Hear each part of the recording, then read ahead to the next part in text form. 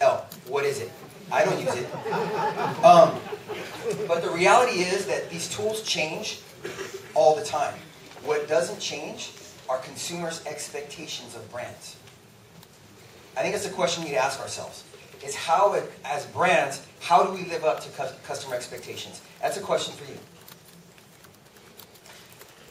I would say, number one, you have to have a kick-ass product. So when you think of a kick-ass product, what's the brand that comes to mind? Anyone? Apple. Apple. I would also say that you would need stellar customer service. So what are some companies online who have really good customer service? Zappos. Zappos, what else? Apple. Apple. Comcast is another one. They're a U.S. Uh, cable provider. Excellent customer service. And then number three, and that's what the data tells us, is consumers are expecting brands to engage authentically. Now, I have a problem with being authentic. Well, I don't have a problem with being authentic. I have a problem with telling you that brands need to be authentic. Because I think we're at this point in time where we all know that already.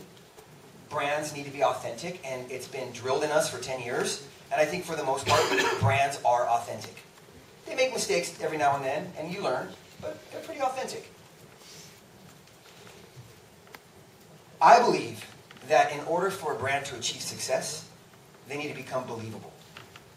If you recall during the uh, 2008 election, uh, Barack Obama was talking, his, his main positioning statement was hope and change that we believe in, right?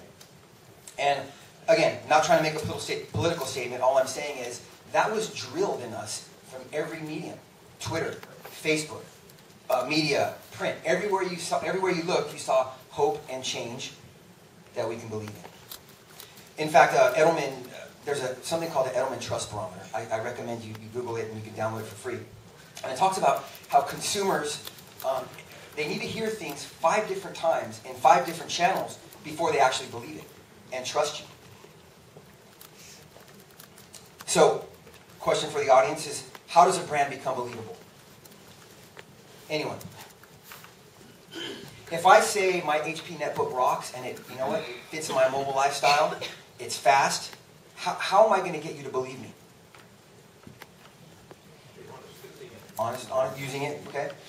Um, so this is what I meant, Carlos. Uh, we just talked about this study, but I have kind of a different take on it. Um, one thing that Carlos forgot to mention was that this study was that measured the top 50 brands.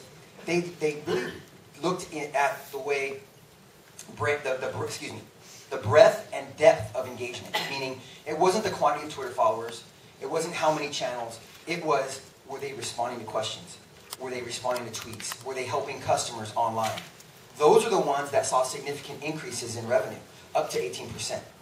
Whereas the ones who had, they may have had a million followers, but all they were doing was pushing out one way messages, their revenue was declining up to 12% or down to 12%. And, I, and this is just a, this is not a scientific study. This is just a correlation. Just wanted to throw it out there. Um, so it correlates to financial performance. But I had a point. I can't remember what it was. oh, okay. I know what it was.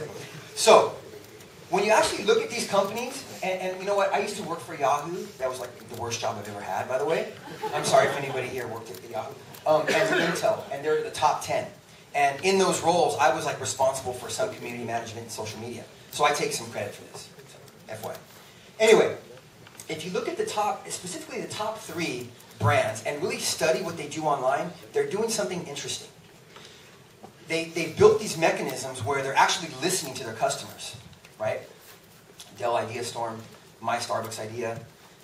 but they're also acting upon that feedback. So here's, here's a correlation. Anybody married? Raise your hand if you're married, okay, or, or in a relationship. Okay, i have been married 10 years. And, um, you know, my wife says I don't listen to her. I beg to differ. Uh, you know, as an example, she'll, you know, I'll be, I work late downstairs, and a lot of times I leave my socks in the living room. And uh, so the next day she'll be like, honey, um, can you, you know, when you come up to bed, can you put your socks in the hamper or take them upstairs? And I'm looking at her face to face, and I'm like, sure, honey, of course. So later that night, what do I do? I forget the socks. Now, that's kind of a funny example, but the reality is, listening without acting upon that feedback can cause a lot of problems between a marriage or a relationship. Would you agree? Like, say again? No, she did not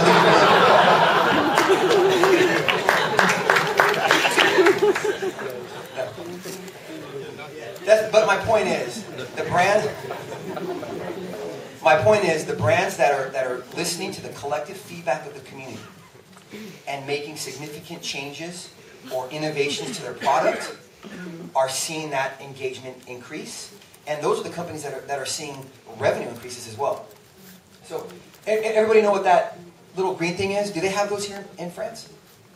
Okay, they're called um, splash stick. It's a splash stick. And what it does is when you buy a coffee back in anywhere, how many times have you spilled coffee on your on your shirt? I always do when I wear a white shirt for some reason. I always spill coffee like right here. You have to understand that we don't drink coffee like. Oh, okay. Thank you. Thank you. So that actually was part. That was actually a, a customer recommendation. So with the site, my Starbucks idea, which is here, it was somebody had suggested they create some plastic mechanism to stick in the coffee cup so that it doesn't spill. So what happened? They changed the customer experience for millions of people. Millions of people, of Americans who drink way too much coffee. And they've also, they, are building a, a strong advocacy online by doing that.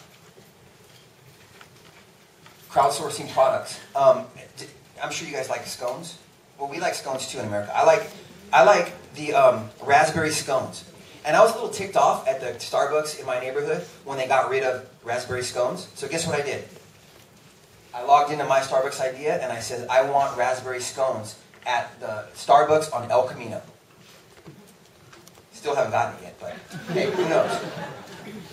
Um, okay, so I want to play a video. Can we get a video, the video back here? So at Intel, I was the lead on, you've probably seen or, or know who Ajay Bhatt is um, or, or, sponsors of tomorrow. It was a campaign which was really meant to, to humanize the Intel brand. So I want to I want to watch this video really quick and then talk to you about what transpired.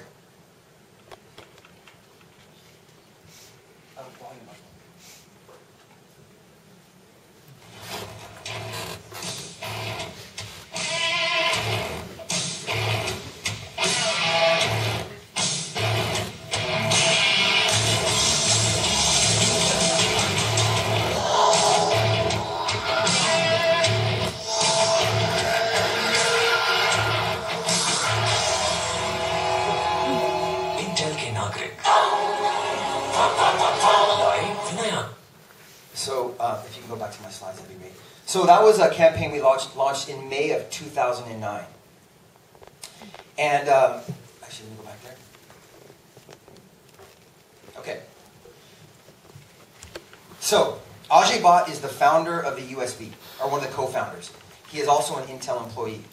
And this whole campaign was positioned as a way to humanize the Intel brand. Because at the end of the day, we're a manufacturing company. Boring, right? So what we wanted to do is highlight certain people in the organization that have made impact. Ajay Bhatt being one of them. So this actually this was released on TV, um, and then we put it on YouTube. And within like two weeks, there was like over a million views. Um, we use Nielsen Buzzmetrics and Radian6 to track conversations. And what we found was there was a huge community asking for those T-shirts. The community in Gizmodo asking uh, within the comments in Engadget, uh, Twitter, within the YouTube comments on various forums.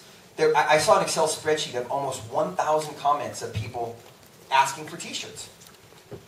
So if you've ever worked in a, in, a, in a big brand like an Intel or HP or Dell or what have you, you know that trying to get T-shirts can take like a really long time, like months. So we had to act fast. And I, I think I turned around these T-shirts in like two weeks. And by the way, that's not the real Ajay. That is an actor. And so we did get some flack for that, this whole, you know, being inauthentic. But the reality is he just didn't want to be on TV. Um, so we actually made, and we put it in a press release too. PR. Um, okay, so we actually made authentic, so real Ajay Bhatt t-shirts. So we had Ajay go to take a picture, and so but that's him. That's the real Ajay Bhatt. And so what we did was we did a, a Twitter giveaway. And we says,